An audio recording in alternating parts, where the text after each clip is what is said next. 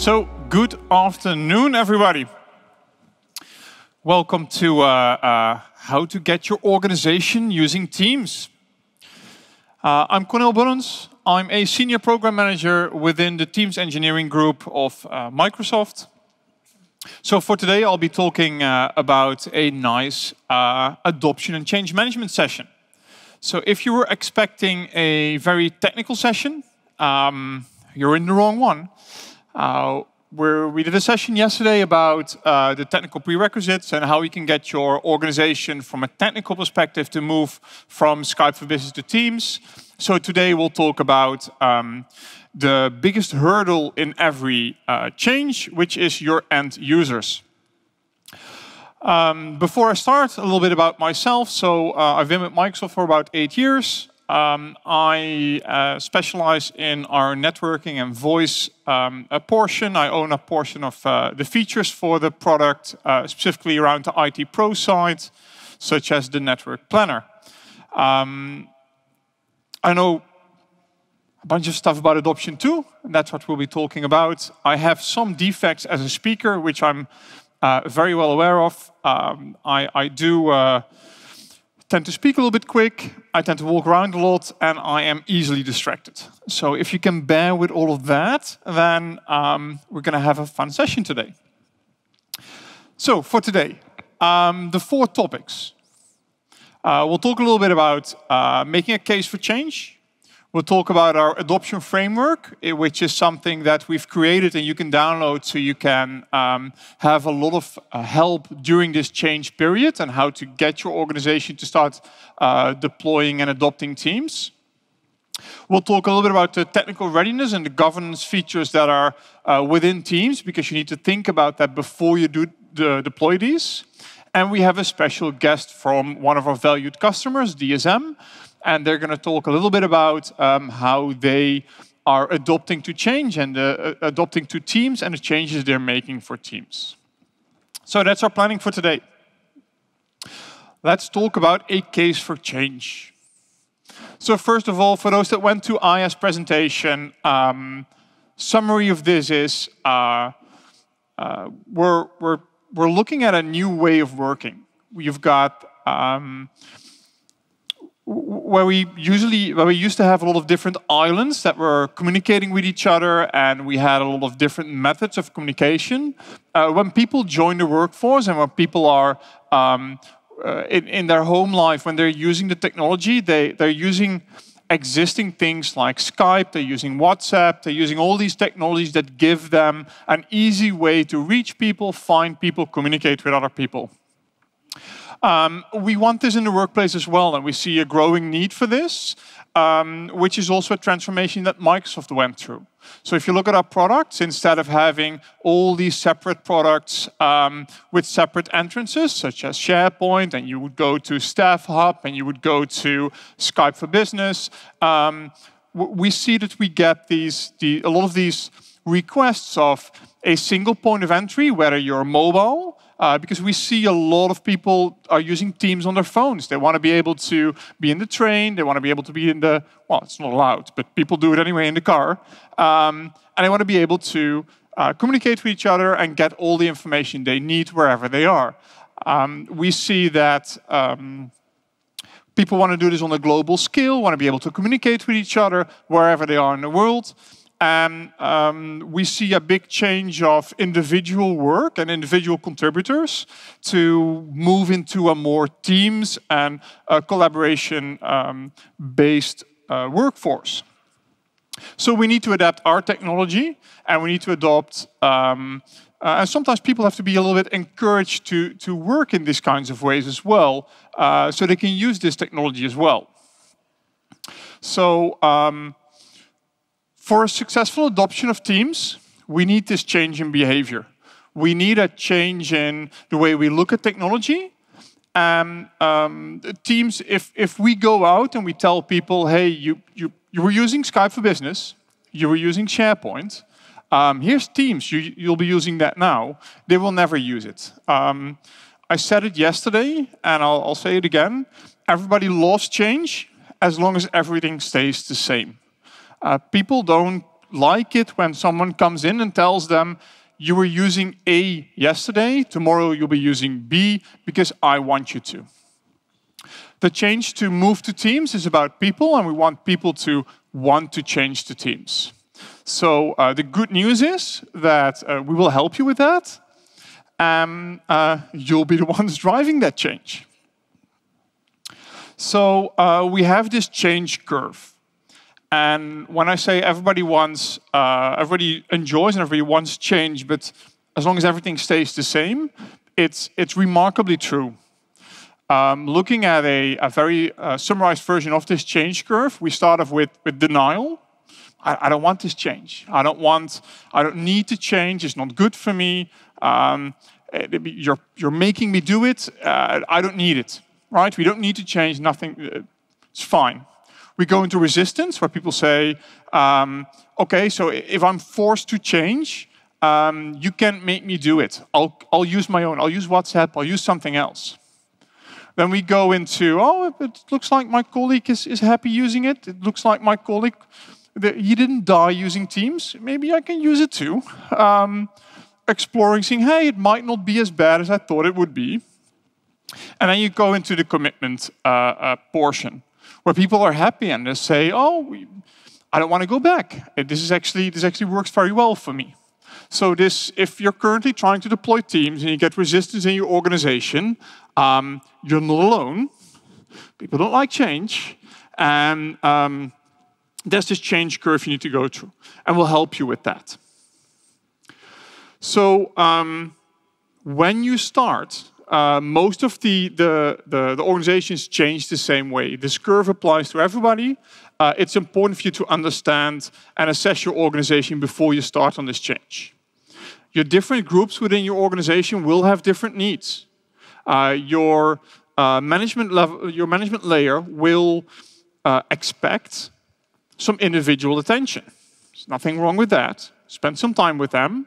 Um, power users would normally love to be advocates for your products. Um, give them some extra attention and they'll help, like an oil spill, to um, move the product forward. Um, every uh, portion of the company will have different needs, but they all have their own champions. Talk to them, talk to those power users, and help them understand the products and help them drive your product, make them be your employees, make them be your advocates. Then um, people will tell you what they don't like. They, they sometimes tell you what they like, but they usually tell you what they don't like. Act on that. Uh, Teams is a very flexible product. Um, we allow a lot of integration with different vendors and, and third-party apps. Maybe you can make a positive change out of that negative feedback. And um, people that, uh, the one thing that, that over all the years in the different companies that I've seen, people that complain the most and are the most um, vocal about everything that's wrong with what you're doing are the people that care most about what you're doing. Don't ignore those people. Talk to them and ask them, okay, I, I understand your feedback of this sucks isn't really great feedback. How can I make your life better? What can we do to make sure that you're happy? They go to the curve, they start off with, no, nothing, because you're stupid, I don't want this. Um, ask them how you can make it better. Have a good sit down, work with them, and they can be your greatest champions. So uh, I don't remember, uh, I don't expect you to remember all of this. Um, this is all in our, this is a part of our adoption toolkit, right? This is how we, we want you to understand this reception to change. Um, if you look at the, uh, at the chart, you can see, uh, you can start making a, um, like pick your organization apart. You can start taking a look at your organization because your organization will have people that are early adopters, that are informal adopters, and people that are people, uh, essentially people that don't want this um, target your right audience, know your audience. And um, once you make those groups during the changes, you can focus your attention on them and you can focus the changes you want them to make on the right groups. So uh, to help you with all this, to help you with these changes, we've got something that's called adoption framework. And you can see one of the changes in, um, in Microsoft as an organization, where we started off uh, a long time ago um, with, hey, here's Exchange. You can email now.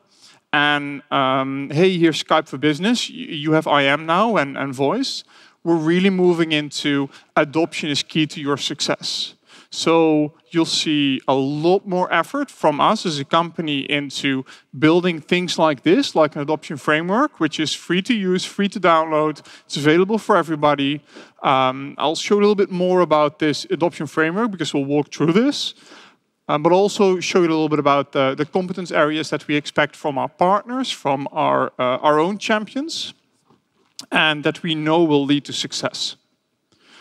So looking at these stages, there are five stages. We start off with assembling a team, defining a strategy, then assess your readiness, build your plan, and then onboard your employees. So this is really from a change perspective. We don't really start touching technologies until we go into a build plan. So let's start off with assembling your team. Um, what are the skills we need to drive that adoption? Uh, by the way, this is all part of our uh, adoption, skill, uh, adoption skills exam. Uh, it's one of the new competencies that I talked about. Uh, we really expect every one of our partners to have at least one person qualified and certified in this exam to ensure that we, our partners can also drive these changes at customers. So the technical competence, that's usually okay with our partners, right? That's, that's there. We want way more. We want organizational development, business acumen, marketing and communications, portfolio uh, management, and especially leadership capability during that period of change. We want our partners and uh, our, our change teams within the customers to be able to lead this change and to move them into using teams. So we're talking about assemble your team. So these are the people we would usually have in, in any of our um, change management teams. So we'll have, it's important to have this business buy-in, which we have from our executive sponsor and a success owner. We have a program manager to drive the entire program. We have some champions to be the voice of success within your organization. We also have an IT specialist uh, to, to lead the technical deployment of teams we have training leads because uh, whether it's individual or teams-based training or whether it's uh, remote training, we need people trained. Department leads, so they know what's, what are the changes and they can be your, your voice again towards the departments, ensuring that they're on board with the changes that you want. We have uh, an HR manager uh, who's responsible for the happiness of the employees, and we have our community manager get teams, get those communities out there, and get feedback from them to ensure that uh, you know what's going on within your organization. So once we have a team, we then go into define a strategy.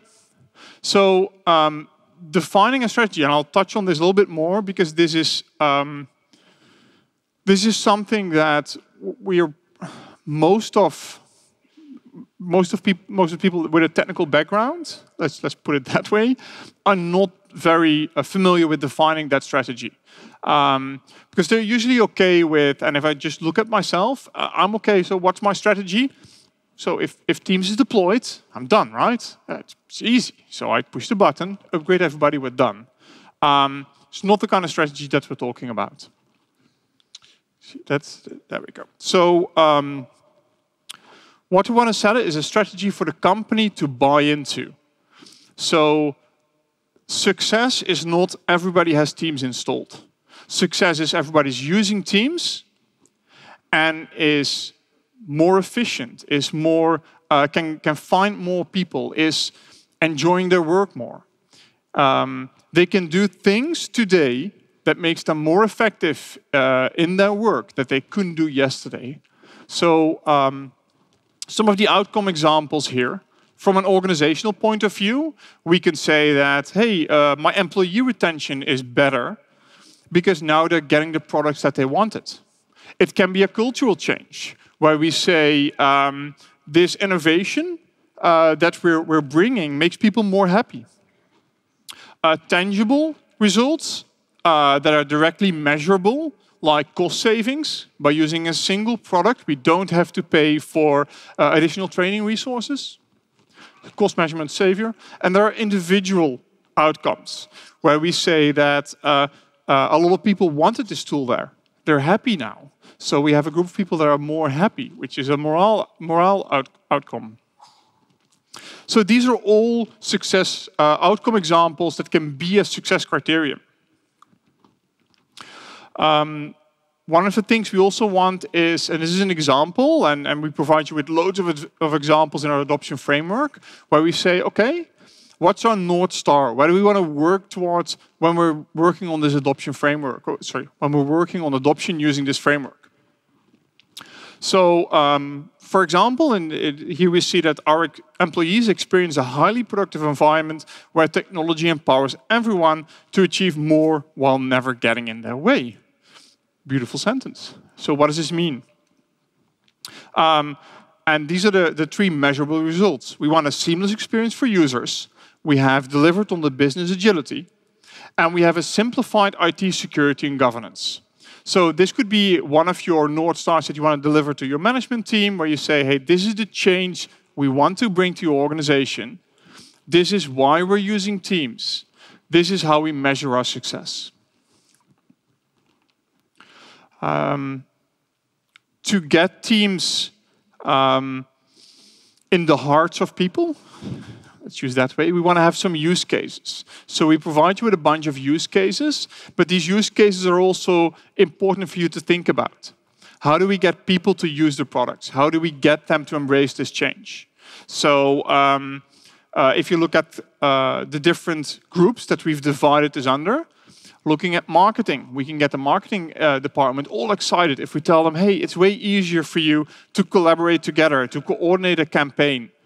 Um, we have some examples, and I'll give you the resources in the end. For example, on success with teams, where we have great examples and scenarios for a marketing team that's using um, Twitter integration and also some of the sentiment integration that we offer so that they can coordinate a marketing campaign through Teams and they can see immediate results in Teams. They can immediately see if the market is picking up their campaign and if they're responding positively great example. So these use cases are really helpful to get those organizations on board with the change. To define the success criteria, um, as I said, we, we have this um, this notion of oh, when when was team successful? Okay, everybody's using it, it's successful. Uh, no, you, you need to measure success on more than just uh, how many active users you have. So these success criteria we can help you set up. Uh, for example, one of the success criteria could be um, are, are, your, are your users happy? What kind of a rating do they give on their knowledge of teams and of the, on the usage of teams? Um, perhaps you say, well, we want a 8 out of 10 for knowledge. We want people to self-assess their knowledge. That could be a success criterion uh, on uh, aka.ms slash user surveys, we give you a bunch of um, different surveys you can give to your users and you can send out to measure those success criteria to ensure that um, once you've deployed and once you've completed your adoption, that they are happy and that you've met those um, adoption goals that you've set. With that, we go into uh, assess your readiness. So with, while we're, we're assessing the readiness, uh, deploying teams is also a great opportunity to look into things like governance. Um, so when we plan that deployment, we do this uh, with your core technical uh, talent. Uh, and we provide all these activities you do with your stakeholders. You will need to do your security reviews. You will need to do um, need to think about support readiness. You will need to think about how do we get feedback on the usage of Teams. Um, the beauty of one of the beauties of Teams is that once you start deploying it, you also get a great opportunity to once and for all spend some time with your current governance governance models and how you should be. Um, uh, how do we say it? Uh, how you should be uh, maintaining your uh, data and ensuring that your data remains your data. So um, one of the things that we encourage you to think about, and we know that um, if you just start deploying teams, then this is easily forgotten, is uh, things like who do you want to be able to have, uh, who do you want to give the ability to create those teams? Do we just want to give them the ability to create any name they want? Uh, I can assure you, you get very weird namings. Um, does everybody want to be able to, to set up a meeting? Do we want external users to be part of that or not? Do we uh, approve certain apps? If you're a development company, apps like Jira can be extremely helpful. Um, there are also many apps, uh, like in the in the main communication channel. Do you want a, a, a party app or a chat app like Polly? I can imagine you don't want that. Um, what about data security? do I want to prevent guest access to high business impact uh, channels? These things need to be thought of upfront before you start deployment. Uh, nothing will kill your deployment uh, as quickly as a data breach or as a uh, or a, a, a, governance breach like that. So if you have a, a high impact channel and turns out that everybody could invite essentially anyone in the world to partake in uh, this year's financial results, you, you probably want to think about that before you start deployment. So um, one of the things we can do, we can completely protect all the content in Teams. We'll help you with that. It's actually fairly easy to set up, um, which, will, which uses Azure Information Protection and will help you with the, the data loss protection. So some of the things you can do is you can limit um, download or saving capabilities from files in certain groups. This all uses the Azure Information Protection. Um, you can label files. You can ensure that people don't share it outside of that group. You can track where the file has been. Um, all these kinds of uh, things we give to you, and this is all part of your planning exercise. You assess your readiness to ensure that you think about this before you start deploying teams not once it's too late. Uh, we do have some guidance on naming conventions and teams conventions. We see a lot of our companies going with the organizational approach, where we have a team for um, management, and we have a team for building A, and for building B, and we have a team for, um, say, the telephony guys. So um, the way we build teams, we think more of it like on the right side from a collaborative space where we say, okay, we have a, a, a sales team for customer A and we have a sales team for uh, Contoso, for example. And the nice thing is once that's done and you're completed with a team, we also give you the option to archive a team or just completely delete the team. Because once you're done, archive it, set up a new team for the next project. Really depends on your organization. There's a lot of guidance in that adoption toolkit that will help you with making the right decisions for this. Once again, this is all the stuff you think about before we go deploy. Go deploy. If you do this right, your users will be a lot happier and they, they, can, they, they get teams at that point. Um, so this is all stuff that, that you think about to ensure it makes sense to them when they start deployment. Um, how most customers are dealing with governance, because that's one of the questions we get quite a bit. Um, set those naming conventions so we so that you're in control of how people are naming their teams and their groups. Um, set an expiration policy. If nobody uses a team for a year, do you really need that team? Set an expiration policy, use the team's life cycle. People get a warning that says, hey, it looks like you haven't really used that team that much. Do you want to keep it or delete it? Um, create those processes during the team creation to ensure multiple owners and allow any uh, allow or disallow anyone to the option to create a team. Um, the reason behind this is that if someone leaves the company or someone's on vacation, you want to be able to make changes to the team. You want to have multiple owners or else the, the one person is going to be completely overloaded. Um, and we see a lot of great use out of people that are creating their own teams. Stuff to think about up front. Um, we do see a lot of companies that have a set of fixed organizational teams, for example, HR announcements, um, management announcements, uh, a pure management channel, things like that. And we see them mixed with um, like a, a, a, sales department that has a different sales uh, activities as separate teams within there. Mix and match wherever it applies. Um, we do encourage you to only enable the applications that are relevant for your company and not make it a free-for-all. It will really help you uh, manage all the content and ensure that you know what's going on and, you, and that you're in control. Um, at that point, we go to building a plan. How do we start deploying teams from a more technical perspective? Because we've we've done we've set up a team um, we've defined a strategy. We know what our success criteria are. We've thought about governance and how we want to name the teams and how they should be created. Now it's time to build a plan to ensure we deploy it correctly. So uh, once we start building that plan, we have sort of three phases when deploying teams. We have this initial plan where we make the, the, the, the let's say, the, the workbook in which we say, uh, this is when we do what. We have phase two, experimental, where we do the pilots, we get our power users trained, um, our champions, and we've got phase three, where we start to scale out teams.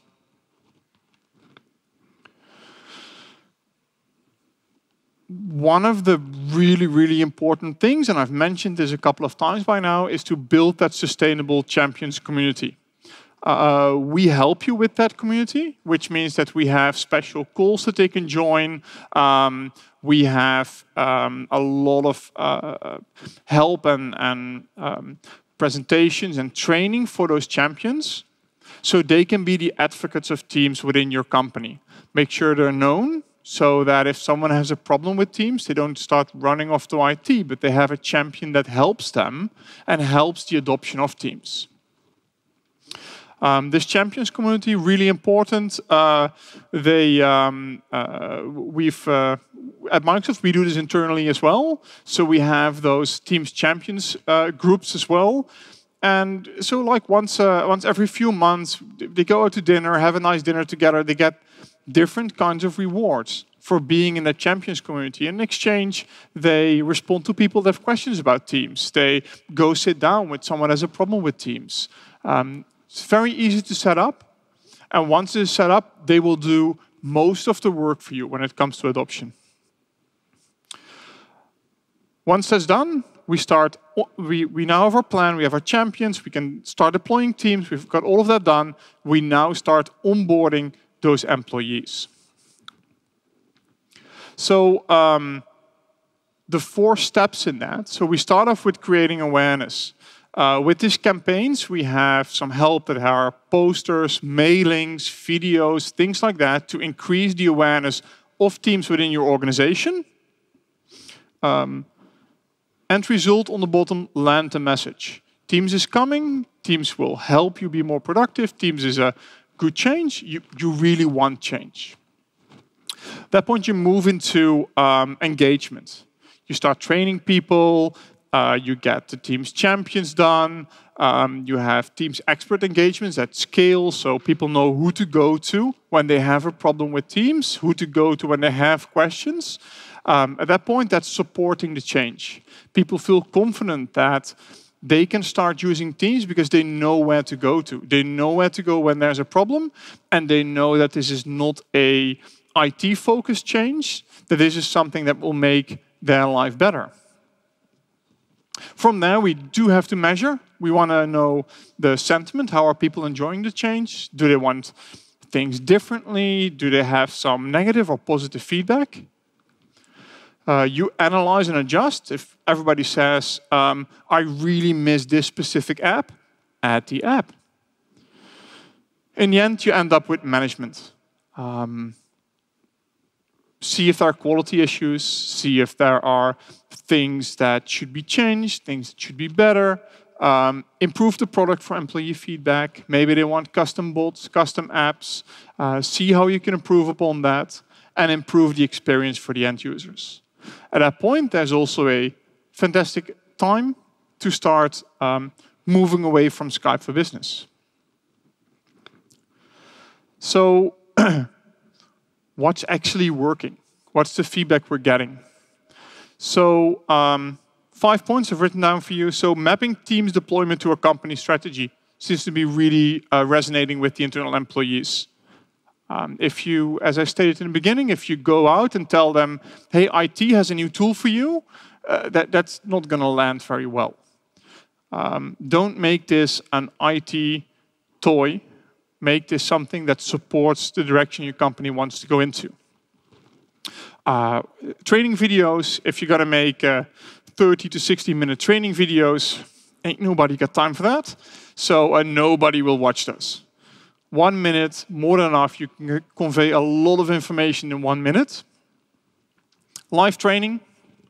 Uh, people are, um, just think of yourself, if you are ever required to follow a company training, which, so we, we get them a couple of times a month. Um, my main exercise during any company training is to do my email. Um, if it's a live training, uh, I, I, always feel very guilty to do that, so I pay a lot of attention. Uh, use that. Get people to attend to a 15, 30 minute class, teach them about Teams, make them more effective, and people will pay attention. Uh, phased approach. Uh, we talked a little bit about that from a technical perspective yesterday. Um, start with uh, you can do Teams and Skype for Business next to each other. Give them the tools, give them some of the uh, handles to start working with that. Give them the tools when they're ready for it. So you can start with collaboration, add voice, add meetings, um, once, once they're trained and they know how to use it. Um, the champions community, and I keep coming back to that, is super important for good uh, adoption. When people know who to go to, when people have um, a voice of a product within a company, they're way more likely to use it. With that, that's enough about me. We have uh, Michiel Zandbergen from DSM. He's going to talk a little bit about how they did their, uh, or they're doing their adoption using Teams. So here's Michiel. Thank you.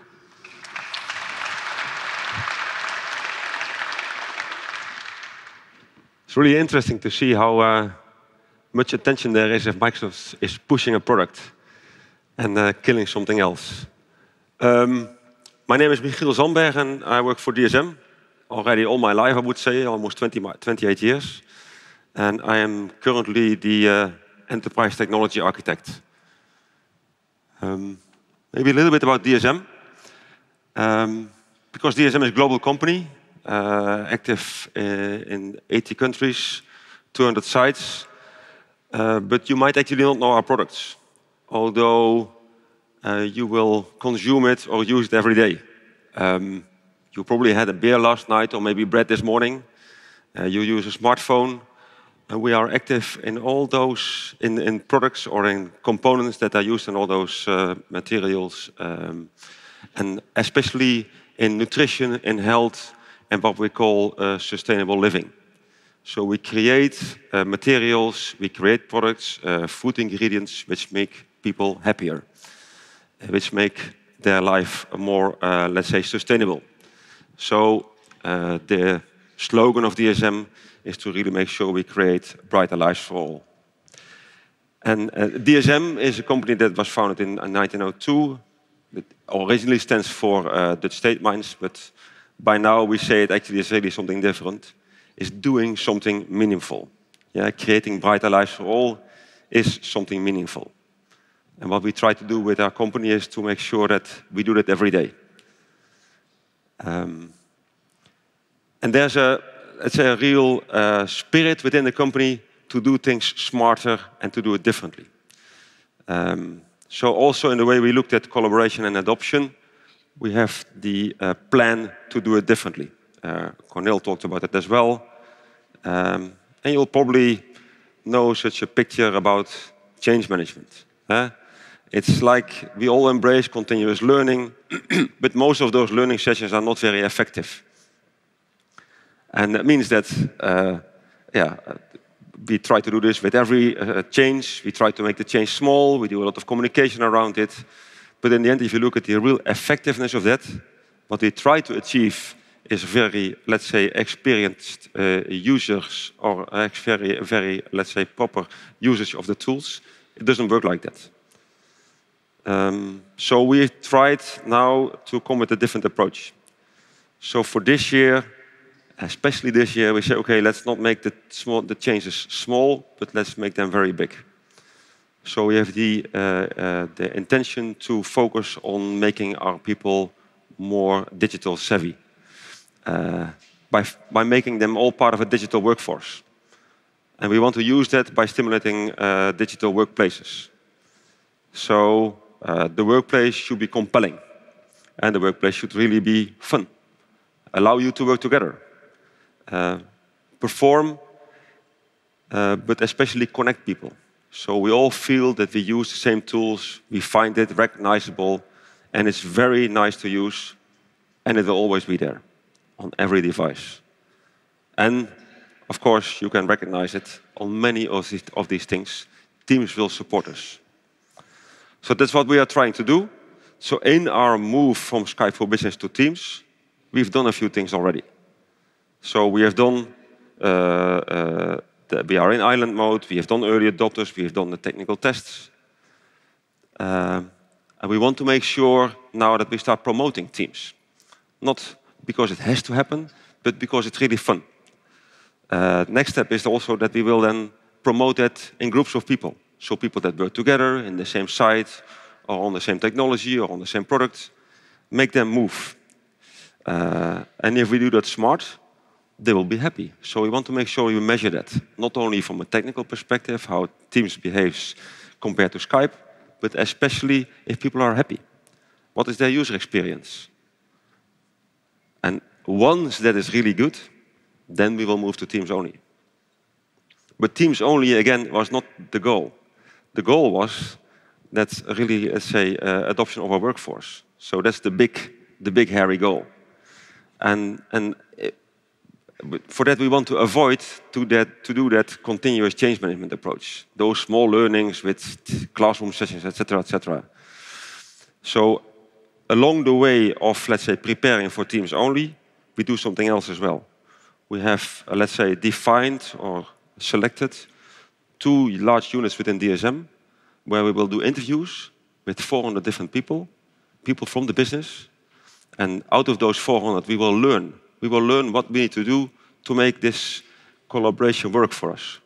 We will also then adopt and adjust our plans and only then move to that real, let's say, big hairy goal to make our uh, employees, uh, let's say, part of a digital workflows.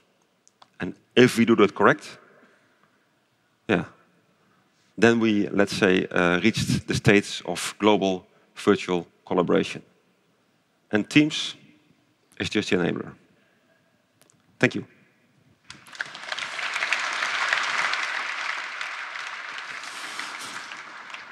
Thank you, Michiel. Thank you. Um, if, if, you look at the, the presentation that Michiel gave, um, it's, it's interesting to see how, we, how they looked at, at KPIs, right? So they looked at, they didn't look at uh, what's, what's success. Is success a technical deployment of teams? Or is success a, um, a deployment of making their employees more effective to go into this global virtual collaboration? So um, thank you for that. And thank you for showing us uh, how DSM is doing this. Um, with, with about 20 minutes left, I'm going to go into the, all the resources and all the stuff where you can find this. Um, I, I, there was one thing that I noticed today and that I do want to talk a little bit uh, to you guys about. Uh, so about six years ago, five, five, six years ago, there was a, um, we started doing adoption sessions. In, uh, I know this started, for example, in uh, Barcelona. And when we were doing these, these adoption sessions, we had about uh, five people in the room. That was the amount of people that were there. Um, and when we were doing these sessions, uh, essentially, the five people left after about 10 minutes because then they figured out this wasn't about how to deploy a product, this was about how to get people to use it. And the sentiment at that point was from, from the entire audience, and I think from the entire uh, IT community at that point, was well, to, to get people to use the product, you have to turn it on, right? That, that's how they use it. And there's not that much choice because, well, we decide. Um, and it's very interesting to see how we've moved away from that and how we're defining KPIs uh, based on customer happiness and, and uh, end user happiness. Um, um, if an end user is more effective instead of, oh, did I turn it on or not? So it's, it's great to see this progress. It's a bit of a tangent, I know. Um, anyway, some of the adoption resources we have for you guys. So let's start off with the Teams Adoption Hub. If you go to aka.ms slash Teams Adoption, you will find um, all the resources I talked to you about. Um, it's the main hub where you can go if you want to learn more about adoption, learn more about the resources, download the adoption toolkit, all those kinds of things, and to get really started with adopting teams in your organization. Uh, from there, you also find all the downloadable resources, such as the Customer Success Kit for uh, Microsoft Teams. So the Customer Success Kit contains a lot of things like um, posters, um, email templates, videos. Uh, they give you all the help you need to really advocate the use of Teams within your organization. And you can start building your plan on top of that. We have a bunch of online training. So we have Coffee in the Cloud, which is something where we have the different product owners and um, technical resources, but also um, adoption resources, where they talk about different subjects in teams. They're focused on both end users as well as IT pros, and it will help you get a, um, get a good start on uh, deploying teams, adopting teams. There's also uh, aka.ms slash success with teams, where we have a lot of practical guidance. So we get a lot of feedback from our customers like DSM. We take that feedback and we ensure that our documentation and our guidance is on par with what our customers are experiencing. So that's all on Success with Teams. Then we have the Teams resource cheat sheet for you. So the four sites that I mentioned. If you want public feature delivery dates or uh, future things or things we've already delivered on, if you want to know about features, go to the roadmap on aka.ms slash O365 roadmap. If you need the technical community, they're on aka.ms slash teams community. If you need practical guidance, if you need the Success with Teams site, go to aka.ms slash success with teams. And the coffee in the cloud uh, vlog, let's just call it, is on aka.ms slash coffee in the cloud. We do have a uh, Office 365 Champions uh, program. We talked a little bit about that already. There are monthly calls with the Microsoft experts. We have guest speakers there. You can join that. Um, they're, they're mostly focused on the champions within your organization, um, not necessarily IT pro focused, more focused on uh, adoption of the product. Um, and we'll give you early access to adoption uh, resources and tools from there. We uh, also have Microsoft Fast Track.